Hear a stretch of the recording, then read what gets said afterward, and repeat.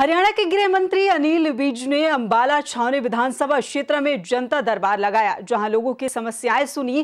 PWD में सैकड़ों लोगों की समस्याओं को सुनते समय मंत्री विज पूरे एक्शन मोड में नज़र आए। उन्होंने मामले में लापरवाही बरतने वाले अधिकारियों को मौके पर ही कड़ी फटकार लगाई।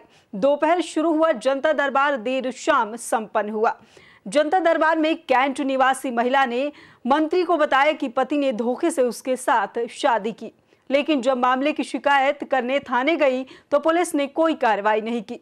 जिसके बाद गृह मंत्री ने मौके पर मौजूद पंजोखरा थाने के एसएचओ को कड़ी फटकार लगाई और इस मामले में एडीजीपी को जाँच के आदेश दिए।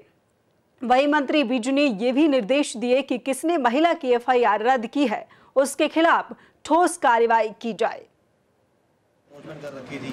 अब उसको तो उन्होंने मान लिया नॉर्मली तो जनता के काम होने चाहिए सब जगह। मैं यही कहता हूँ। शिकायतें लगातार लोगों की बढ़ रही हैं नहीं ये- इसलिए बढ़ रही है क्योंकि मैं सुनने वाला हूँ। अगर कोई सुनने वाला ना होता तो किसके पास जाएँगे?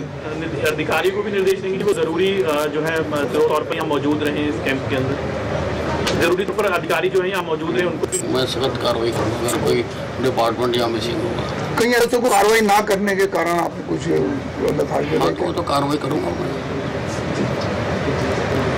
All officers should be public friendly उनको जनता के काम करने चाहिए, ताकि जनता को इधर से उधर ना भटकना पड़े।